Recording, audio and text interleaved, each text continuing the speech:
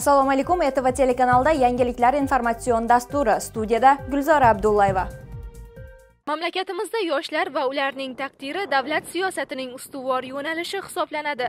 Chunki kelajak hayotimizning hal qiluvchi kuchi ham bu yoshlardir. Shu ma'noda mamlakatimizda yoshlarga e'tibor nafaqat moddiy va ma'naviy taraflama balki ularning ijtimoiy siyosiy faolligini oshirish huquq va manfaatlarini himoya qilishga yo'naltirilayotganligi bilan ham ajralib turadi. Joriy yilning 7 fevral kuni ellikqal'a tumanida yoshlar bilan uchrashuv bo'lib o'tdi.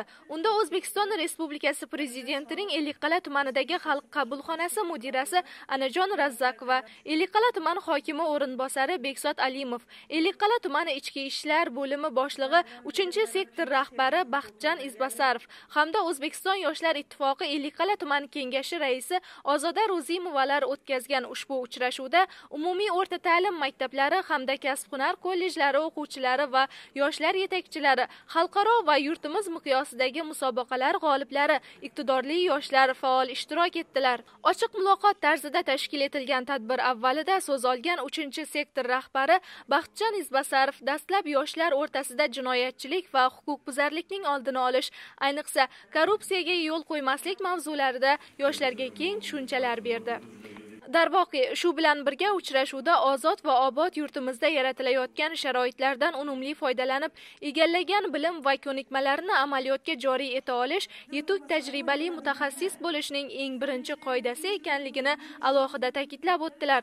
Shuningdek yoshlarga oid davlat siyosati dasturida ko'zda tutilayotgan maqsad va vazifalar ayni kunlarda amalga oshirilishi rejalashtirilayotgan yangiliklar ochiq muloqotlarda bayon etildi. Ta'lim tizimida olib borilayotgan xususan oliy ta'lim yo'nalishlarida amalga oshirilayotgan islohotlar tadbirkorlik faoliyatini qanday qilib amalga oshirish kabi mavzulardagi savollarga mutaxassislar atroflicha javob berib o'tishdi. Respublikamizda yoshlar kelajagimiz davlat dasturining qabul qilingani bu yo'nalishda olib borilayotgan islohotlarning salmog'ini oshirishga xizmat qilayotgani bilan ahamiyatlidir. Yoshlar tomonidan bildirilgan fikrlarda o'qish sport obodonlashtirish tadbirkorlik bilan bog'liq mavzular ilgari surildi. Ushbu yo'nalish yo'nalishlarda ko'rilayotgan chora tadbirlar to'g'risida zaruriy ma'lumotlar berilar ekan. Yoshlar oldida turgan muhim vazifalar ya'ni o'qish bilim olish dars mashg'ulotlarida to'liq ishtirok etish huquqbuzarlik va jinoyatchilik kabi beboshliklardan o'zini tiya bilish singari ko'plab masalalarda mulohazalar o'rtaga tashlandi. Uchrashuv davomida sektor rahbarlari yoshlarni o'ylantirayotgan muammolarni eshitishib ularni bartaraf etish yuzasidan mutasaddilarga zarur topshiriqlar berdi. Yigit qizlarning bir qator taklif va tashabbuslari ham qo'llab quvvatlanib ularni amalga oshirish yuzasidan chora tadbirlar belgilandi. Ulug' mutafakkir so'z mulkining sultoni mir alisher navoiyning boy ma'naviy merosi asrlar osha butun bashariyatni hayratga solib insonlar qalbiga ongi shuuriga ezgulik insonparvarlik saxovat mehr muruvvat ziyosini taratib kelmoqda. Mamlakatimizda ulug' bobo kalonimizga ehtirom ko'rsatish asarlarni o'rganish uni dunyoga keng targ'ib etishga doimiy e'tibor qaratilmoqda. Ayni kunda buyuk shoir tavalludining 579 yilligiga bag'ishlangan adabiy ma'rifiy tadbirlar qoraqalpog'iston respublikasining barcha viloyatlarida jumladan ellikqal'a tumanida ham bo'lib o'tmoqda. Hammamizga yaxshi ma'lumki 9 fevral ulug' bobomiz g'azal mulkining sultoni mir alisher navoiyning tavallud topgan kuni. Uning g'azallari tillardan ham dillardan ham hali hanuzgacha necha asrlar o'tgan bo'lsa ham hanuzgacha o'chmagan. Buning isbotini ellikqal'a tumani xalq ta'lim bo'limiga qarashli oltmish birinchi sonli umumiy o'rta ta'lim maktabida alisher navoiyning besh yuz yetmish to'qqiz yilligiga bag'ishlangan nazm gulshonining dahosi nomli badiiy kechada ham ko'rishimiz mumkin. 9 fevral buyuk o'zbek shoiri mutafakkir nizomiddin mir alisher navoiyning tavallud kuni. Ushbu sana munosabati bilan mamlakatimiz bo'ylab keng miqyosda ma'naviy ma'rifiy tadbirlar uchrashuvlar va davra suhbatlari o'tkazilmoqda. Shu munosabat bilan kuni kecha ellikqal'a tumanidagi umumiy o'rta ta'lim maktabning bayramona bezatilgan tadbirlar zali adabiyot va she'riyat muxlislari o'qituvchilar keng jamoatchilik bilan gavjum bo'ldi. Buyuk bobokalonimiz tavalludining besh yuz yilligi munosabati bilan Nazim gulshanning dahosi mavzusida ma'naviy ma'rifiy tadbir o'tkazildi. G'azal mulkining sultoni mir alisher navoiyning 579 yilligini bugun keng nishonladik. Alisher navoiyning g'azalu hamsalari ruboiylarni o'rgatish orqali uning hayoti ijodini o'rgatish orqali biz yosh o'quvchilarimizni yosh avlodimizni vatanga muhabbat uyg'otish ruhida آه، حلال ليك. Haqqo'ylik rostgo'ylik singari xislatlarni singdirishga harakat qildik. Darhaqiqat navoiy ulug'lagan ijtimoiy adolat odamlar og'irini yengil qilish hayot farovonligini yuksaltirish ilg'or yangiliklarga intilishga oid ezgu g'oyalar bugungi kunda hayotimizning mazmuni islohotlarning pirovard maqsad muddaosiga aylangani e'tiborga molikdir. Tadbirda navoiy ijodining inson kamoloti yuksak ma'naviyatli shaxs tarbiyasidagi o'rni xususida bebaho meros barcha ijodkorlar kabi yosh shoirlarning ilk qadamida ham muhim ilhom manbai bo'lib xizmat qilayotgani xususida atroflicha so'z yuritildi. Gul shaydosidir gul hajrida yonur gul gadosidir ko'ngil gul ishqin solmishdir tug'yon. Shul hajridan beorom ko'ngil tarfiqon mana bugun ellikqal'a tumani xalq ta'limi bo'limiga qarashli oltmish birinchi son umumiy o'rta ta'lim maktabida alisher navoiy bobomizning 579 yilligi munosabati bilan nazm gulshanining dahosi shiori ostida adabiy badiiy kecha bo'lib o'tdi. Bu kechada barcha maktab o'quvchilari faol ishtirok etishdi. Ular har bir sahna ko'rinishlarida o'zlariga kerakli bo'lgan ma'naviy oziqni oldi deb o'ylayman. Ushbu tadbirimizni o'tkazishimizdan maqsadimiz o'quvchilarni ona tilimizga muhabbat ruhida tarbiyalash ularni ona vatanga bo'lgan sadoqatini muhabbatini yanada oshirish navoiy bobomizning ijodini iloji boricha chuqurroq o'rganishga da'vat etish yosh ijodkorlar va o'quvchilar shoir g'azallaridan namunalar o'qishdi. Tadbirda o'quvchilar tomonidan tayyorlangan sahna ko'rinishlari joy oldi. Sahna ko'rinishlarida alisher navoiyning hayoti va ijodi hamda hamsa asardan parchalar keltirildi. Asar monolog va dialoglar tarzida ijro etildi. Tadbirda maktabning o'qituvchi va o'quvchilari faol ishtirok etib alisher navoiy g'azallaridan jamlangan ruboiy va g'azallarni ifodali ijro etishdi. Bu kabi tadbirlar she'riyat va adabiyot ma'naviyat bayramlari yurtimizning barcha hududlari ta'lim maskanlari mahallalarda bo'lib o'tmoqda.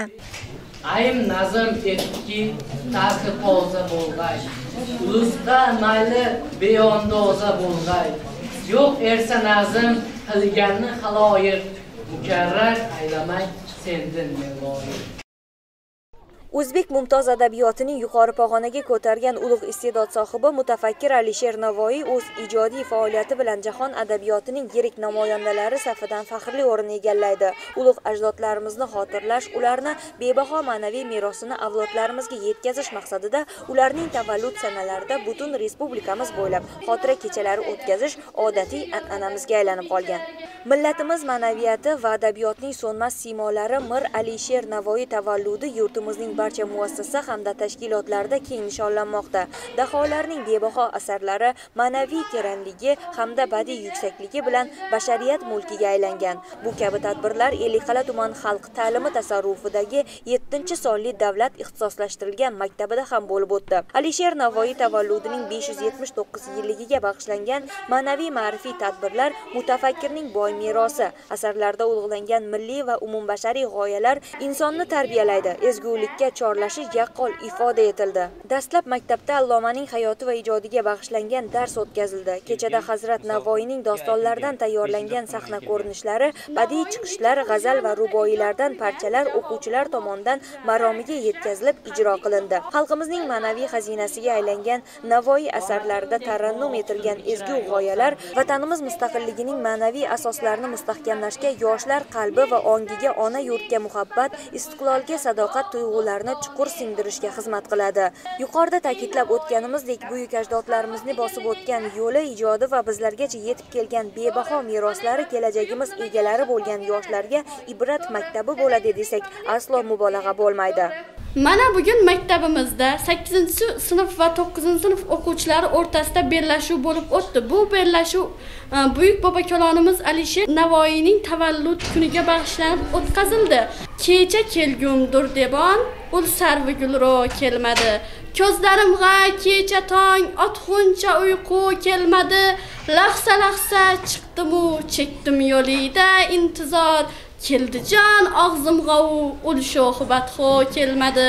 Shundan so'ng darslar alisher navoiy tavalludining 579 yilligiga bag'ishlangan tadbirga ulandi. Tadbirda alisher navoiy asarlaridagi ezgu g'oyalardan yoshlarimizni bahramand etish maqsadida o'quvchi yigit qizlar buyuk ajdodimiz merosiga yuksak ehtirom ruhida uning asarlaridan namunalar sahna ko'rinishlari ijro etishdi. Mana bugun maktabimizda buyuk mutafakkir shoir butun dunyoga mashhur bo'lgan bobomiz alisher navoiyning 579 yilligiga bag'ishlangan tadbir bo'lib o'tdi.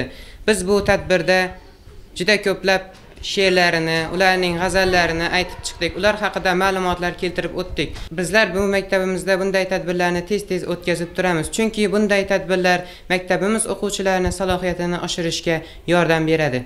Alisher navoiyning tavallud ayyomi xalqimiz balki butun dunyo uchun adabiyot bayrami desak arziydi. Boisi alisher navoiy o'zining ijodi insoniy g'oyalari bilan butun dunyoda ezgulikni insonparvarlikni yaxshilikni tarannum etgan. Kuni kecha ellikqal'a tuman maktabgacha ta'lim tashkilotiga qarashli 19 sonli bolalar bog'chasida ham buyuk mutafakkir shoir alisher navoiy tavalludining 579 yilligi munosabati bilan navoiy va zamonamiz mavzusida tadbir o'tkazildi. O'tkazilgan mazkur tadbirda navoiy ijodiy merosining yosh avlodni har tomonlama barkamol qilib tarbiyalashdagi ahamiyatini misollar asosida e'tirof etdilar. Tadbir jajji bolajonlar tilidan yangragan she'r va g'azallar bilan yanada qizg'in kechdi. Tadbir davomida bolajonlar tomonidan turli xil kuy qo'shiqlar va raqslar ham ijro etildi. Darhaqiqat yurtimizda kechayotgan shiddatli islohotlar xalqimiz ezgu maqsad muddaolarini o'zida aks ettirgan misli ko'rilmagan o'zgarishlarga boy ma'naviy ildizlarimizga tayanadi. Ma'naviyatimiz asoslarini esa buyuk shoir va mutafakkir bobo kolonimiz alisher navoiyning bebaho merosidan ayro tasavvur etib bo'lmaydi.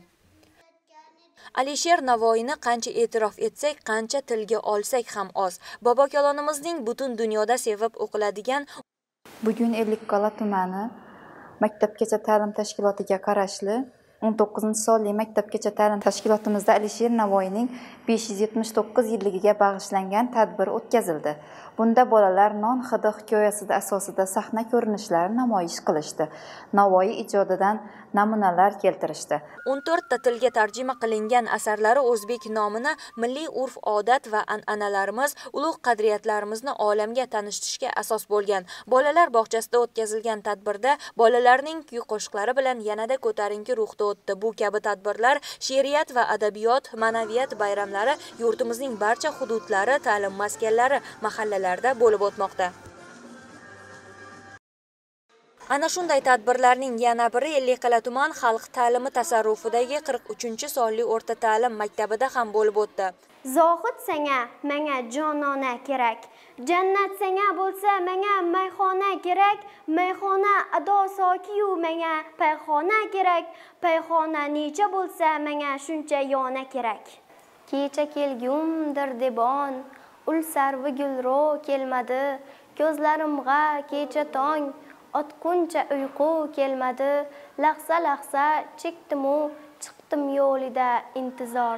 Keldi jon og'zimga bu ul sho'xibatxo kelmadi. Ta'kidlash kerakki jahon tamadduniga beqiyos hissa qo'shgan buyuk ajdodlarimiz xotirasini adabiylashtirish hamda ularning boy ilmiy merosini o'rganish va ommalashtirishga qaratilgan keng ko'lamli ishlar ana shunday ajdodlarimiz orasida atoqli o'zbek shoiri mutafakkir va davlat arbobi nizomiddin mir alisher navoiy alohida o'rin tutadi. Bugun bizning mamlakatimizda buyuk bir katta bayram bizning tilimizning tor ma'nodagi ma'nodagi otasi bo'lmish g'azal mulkining sultoni alisher navoiy hazratlarining besh yuz yetmish to'qqiz yilligini keng miqyosda nishonlayapmiz. Shu jumladan bizning ellikqal'a tumani xalq ta'limi bo'limiga qarashli qirq uchinchi sonli umumta'lim maktabida ham bu bayram keng miqyosda nishonlanyapti. Shoirning qariyb o'ttizta to'plamdan iborat she'rlar va dostonlar ilmiy va falsafiy asarlarini o'z ichiga olgan buyuk ajdodlarimizning bugungi kunga qadar yetib kelgan bebaho adabiy merosi ko'p qirrali bo'lishi bilan birga 15 asr oxiridagi markaziy osiyo xalqlarining ma'naviy hayotini to'liq ifodalab beradi. Bugungi o'tkazilgan tadbirda o'quvchi yoshlar tilidan yangragan g'azallarda bu ezgu ifoda yana bir bor o'z tasdig'ini topdi. kerak oschobug'i qotilboshi majnun shiyorim kim? Buzg'un ko'nglimg'a o'zga yerda jalloni samat etmas ko'ngil uzchaqni zolidin, firibin yemakin o mamlakatimizda o'zbek xalqining ushbu buyuk o'g'lon xotirasiga katta hurmat va ehtirom ko'rsatiladi. Shu kunlarda tavalludining 579 yilligi keng nishonlanayotgan buyuk shoirning xizmatlari nafaqat yurtimizda balki butun dunyoda ham munosib darajada e'zozlanadi. Bugun ta'lim muassasalarida o'tkazilayotgan tadbirlarda ham buyuk mutafakkir bobokalonimizning milliy davlatchiligimiz tarixidagi amalga oshirgan ibratli hayoti haqida va ijodiyotidan namunalar tadbir ishtirokchilariga namoyish etildi. Ellikqal'a tumani xalq ta'limi bo'limiga qarashli 43 sonli umum ta'lim maktabining 6-sinf sinfida Navoiyning tavalludiga bag'ishlangan Navoiyni yod etib nomli tadbirimizni o'tkazdik. E, o'tkazishdan maqsad o'quvchilarga Navoiyning ijodiy merosi, bizga qoldirgan adabiy, ilmiy merosini yanada chuqurroq o'quvchilarga o'rgatish. Ularni ongiga singdirish hikmatlari asarlar haqida ko'proq batafsil ma'lumotlarni berish. Bugun sizga yetkazmoqchi bo'lgan xabar va lavhalarimiz shulardan iborat edi. Etvdan uzoqlashmang xayr salomat bo'ling.